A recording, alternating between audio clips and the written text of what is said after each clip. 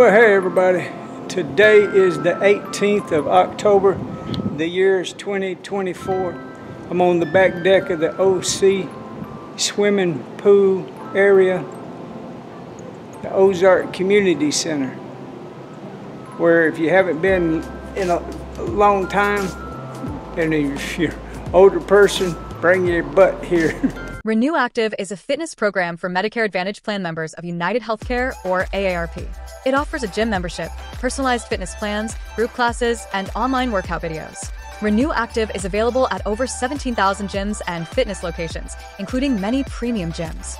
Renew Active may not be available on all plans or in all locations, and program details vary by plan and area.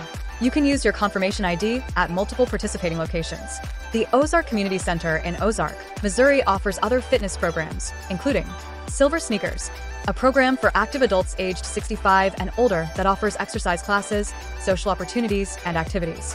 Children's fitness programs, programs that focus on building strength, coordination, and social skills through fun activities and games. Sports leagues and group fitness classes, programs for teenagers and young adults that encourage teamwork, competition, and personal growth. Adult fitness programs, classes like Pilates, yoga, and high intensity interval training. Senior fitness programs, exercises that prioritize balance, joint health, and flexibility. yeah, this is, you got to start walking and doing something, swim, everything. In the month of November, I'm going to increase my workouts to like almost like two a days. I still I work out one day, take off the next day, and then hit it again the next day. I'm not even going to say what I'm going to do until I do it. I may change my mind, but I'm going to uh, definitely increase my output, and that will pay big dividends down the road. So if you haven't been to the OC and you are a senior citizen, show them your health card when you come in and tell them to check it for Renew Active and uh, Silver Sneakers, and you won't have to pay a thing. you you just give them your information, and uh, I'm you know let them know what healthcare provider you have, and chances are you won't have to pay a dime. I think they let uh, seniors in to do the walking trail, the, the walking track. It's over the basketball courts, and uh, that's a good thing. But you sign up for that. If you don't, if you know you don't have the right kind of insurance to pay for what you know for your membership, then uh, just come and walk. You'll get a kick out of just doing that and seeing people, especially in the wintertime when the when the weather gets hotter and hotter. I said that totally wrong. especially in the wintertime when the weather gets colder and colder. How it works. Cold therapy can reduce core body temperature, alter blood flow, and stimulate the body's fight or flight response. This can help with pain, inflammation, and swelling, and may improve post exercise recovery. Types of cold therapy. There are several ways to apply cold therapy, including Whole body cryotherapy, WBCs, involves stepping into a specially designed chamber or tank filled with extremely cold air for a few minutes. Localized cold therapy involves applying ice packs, ice massage, or ice baths to target specific areas of the body.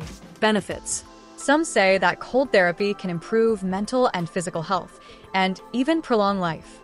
However, research on cryotherapy is still new, and doctors don't fully understand all the potential benefits and risks. Safety. Before trying cold therapy, you should discuss your plans with your doctor to ensure that you don't have any health issues that could be exacerbated by the cold. That's when we really need to work out.